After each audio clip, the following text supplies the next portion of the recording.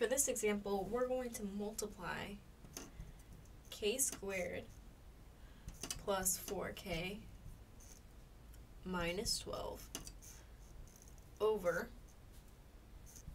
k squared plus 8k plus 12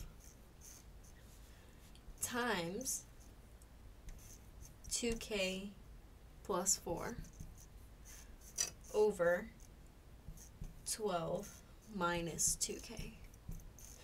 In order to multiply these, first I'm going to factor all of them, all the tops and the bottoms, so that we can see if there's any common factors that we can cancel out. So the top of this first one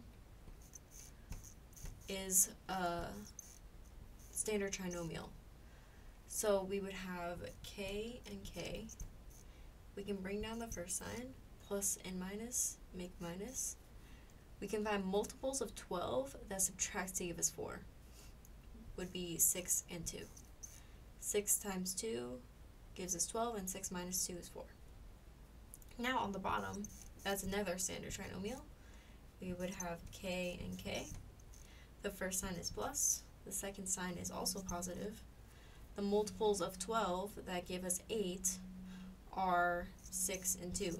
Again, 6 times 2 gives us 12, 6 plus 2 gives us 8. Times the top of this one, there's a GCF of 2.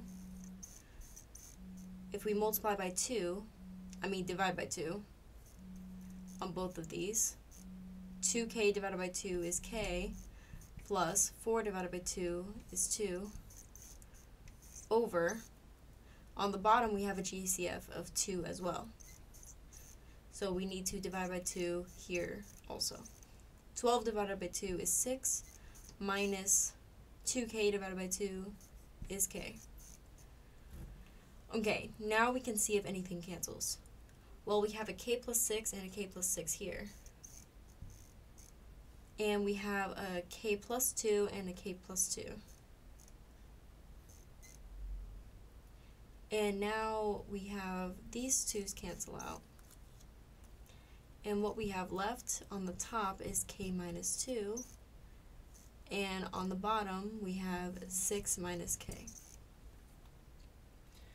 So, because nothing else cancels here, this is our final answer.